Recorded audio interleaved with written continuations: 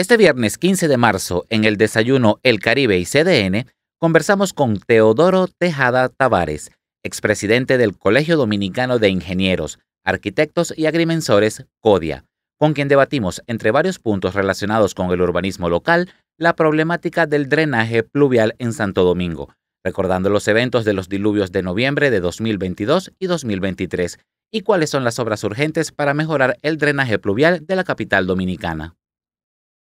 Bueno, yo, te voy a decir, cada día que pasa se torna peor, porque cada día que pasa se satura más. Por ejemplo, hay un, hay un, hay un elemento aquí que no hemos tocado mucho.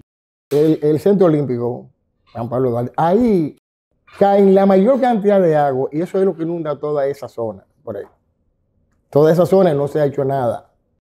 O sea, pero, pero hemos nada más tocado eso, lo que vemos ahí, que toda esa muerte y todo lo que, lo que se pierde. La gente cuando, cuando pierde sus propiedades, porque aquí hay personas que tienen apartamentos en una torre hace muchos años. Cuando pierde su, su, vehículo, y no el vehículo, no, el costo de su apartamento, porque nadie quiere ya comprar ahí. Pero cuando, cuando tú te metes a las 800 y tú ves al presidente que va cada año esa gente que lo, lo han perdido todo y el director de, la CAC con el mismo bulto y la misma mentira. Bueno, lo que yo entiendo es que de una vez y por todas el gobierno debe emplearse en hacer las conexiones necesarias que hay que hacer en la, en la, en la de Cáceres, en ese drenaje que se construyó en, la Núñez de Cáceres.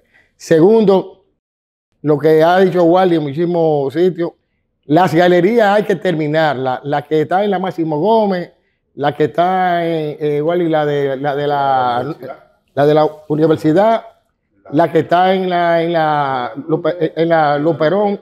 Señores, con la Luperón, con la Luperón, con esa galería, con esa tubería y la galería de la Luperón, se resuelve un problema criminal que es el café de Herrera. Ahí la gente se está muriendo cada vez que llueve el café de Herrera. Hay que hacer esas conexiones.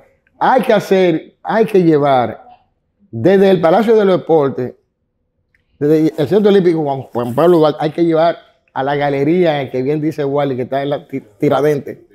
Hay que llevar esa agua ahí. Y, en su defecto también se puede repartir a, Máximo Gómez, que hay una que termina, como él bien dijo, en Bellas Artes.